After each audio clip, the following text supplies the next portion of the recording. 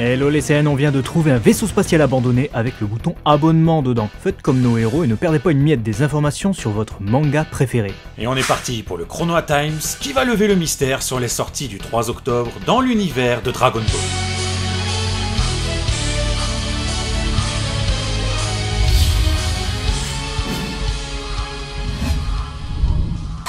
Le 3 octobre 2010, on découvrait l'épisode 75 de Dragon Ball Kai, diffusé tout d'abord sur Fuji TV au Japon, et qui correspond aux épisodes 151 et 152 de DBZ.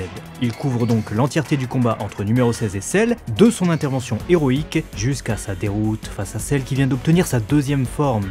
C'est d'ailleurs ce qui me chagrine. Découpé sur deux épisodes, on avait au moins le sentiment d'avoir vu numéro 16 briller. Là, il intervient, beau combat, mais au final, il se fait exploser la face. Ouais, dommage, d'autant que ça adapte du coup 4 chapitres.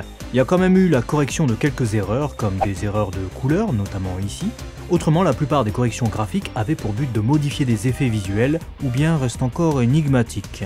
Mention tout de même au premier Shin Kikoro de Hikaru Midorikawa, nouvelle voix de Tenshin Han depuis Kai, qui diffère pas mal de l'impact de Shirotaka Suzuki, sa voix originale sur DBZ. Quelle version préférez-vous d'ailleurs? Dites-nous tout ça dans les commentaires. Pour ma part, le choix est vite fait.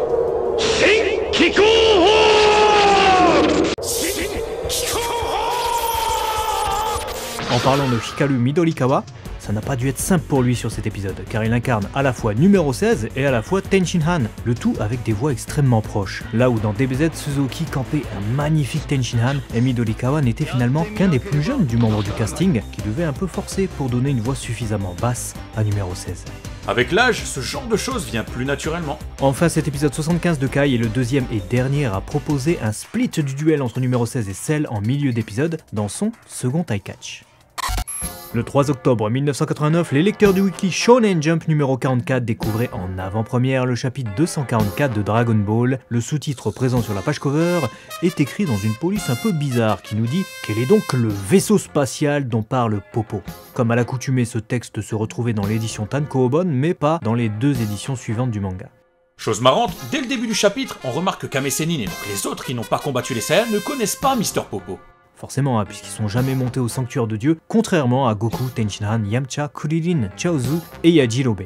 Au final, peu d'élus à cette époque-là eurent la chance de rencontrer le dieu de la Terre et son assistant. Assistant d'ailleurs un peu bizarre du point de vue de Bulma qui hésite vraiment à le suivre jusqu'au bout du monde pour aller chercher ce fameux vaisseau spatial qu'il dit connaître. Après t'as vu ses yeux? S'il cligne jamais des yeux, tu m'étonnes qu'elle flippe Puis bon, le bout du monde quoi Le plateau Yunzabit c'est pas la porte à côté par rapport à l'hôpital Wukong. Bulma étant la seule habilité à examiner un vaisseau spatial, à le traduire, à le réparer et même à le comprendre, c'était un peu logique qu'elle y aille au final. Et grâce à ça, elle découvre l'appareil qui a permis à l'enfant de Katatz, autrement dit la personne qui était autrefois Dieu et Piccolo, d'arriver sur Terre. Le design du vaisseau spatial de Dieu ressemble d'ailleurs pas mal au design du trône de Piccolo Daimao, une attention toute particulière portée aux détails et très culturelle chez Toriyama Sensei.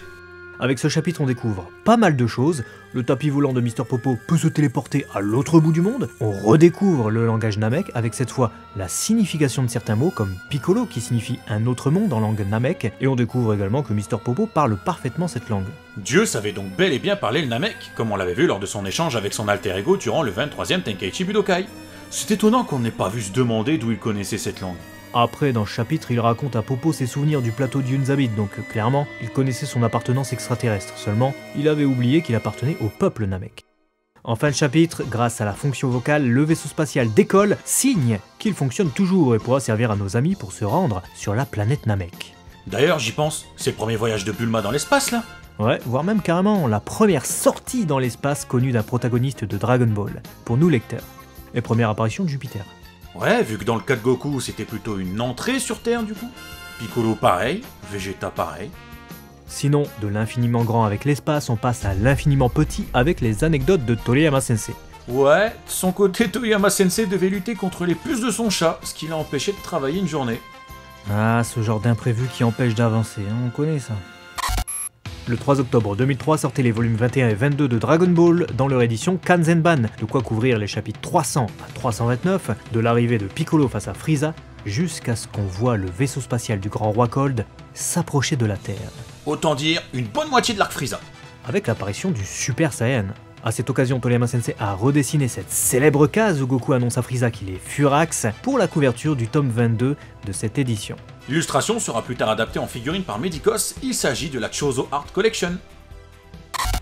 Le 3 octobre 2008 sortait au Japon le premier volume de l'arc Cell Game dans la série des TV Ban Anime Comics, les fameux Anime Comics de la série télé Dragon Ball Z.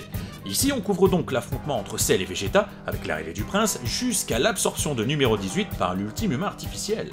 La cover est encore une fois signée de la main de Katsuyoshi Nakatsuru, character designer sur la deuxième partie de DBZ et sur DBGT.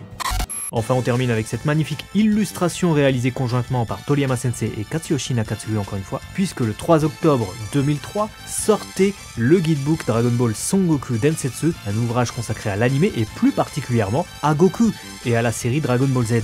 Alors que Toriyama Sensei a réalisé le layout et l'ébauche de la cover, Nakatsuru-san s'est chargé du dessin final et de la mise en couleur. Leurs traits étant incroyablement proches à cette époque, ça a donné ce résultat. Quelle illustration, dessin ou même épisode avez-vous préféré aujourd'hui? Quelle anecdote ou info vous a le plus surpris ou plu? Dites-nous ça dans les commentaires, on se fera un plaisir de vous lire. Et à très vite sur DB Times, vos vidéos sur Dragon Ball Matane.